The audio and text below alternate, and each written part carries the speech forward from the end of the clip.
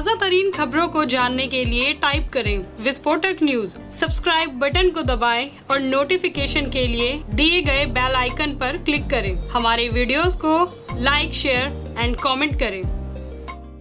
विस्फोटक न्यूज़ के प्रायोजक हैं red pro real estate developers चीन के वुहान में पनपा जानलेवा कोरोना वायरस अब सरहद पार कर गया है। अमेरिका में भी इसका असर दिखाई दे रहा है। यहाँ कोरोना वायरस का पहला केस सामने आया। चीन में यह वायरस अब तक नौ लोगों की जान ले चुका है।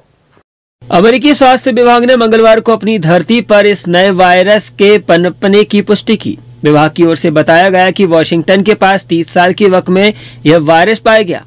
वॉशिंगटन के स्वास्थ्य अधिकारियों ने बताया कि युवक को अस्पताल में भर्ती किया गया है, ऐसा इसलिए नहीं कि वो गंभीर रूप से बीमार है, बल्कि जाँच पड़ताल के लिए भर्ती कराया गया है। युवक की हालत फ़िलहाल बेहतर बताई जा रही है।